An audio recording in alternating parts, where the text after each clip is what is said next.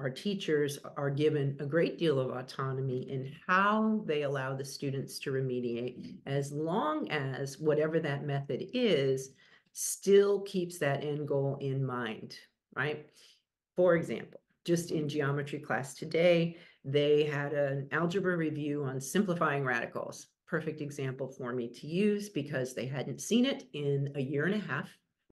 They needed a refresher if I were to um, give a quiz on that and and they didn't get it, they still need the skill of being able to simplify those radicals. That's what they need to learn to do, not by Tuesday because it's Tuesday.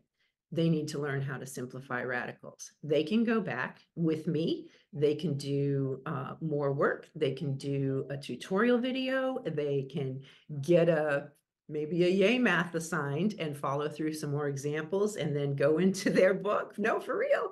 You know Yeah. go into their textbook where there's a plethora of examples exercises for them to work and show me i've got it now.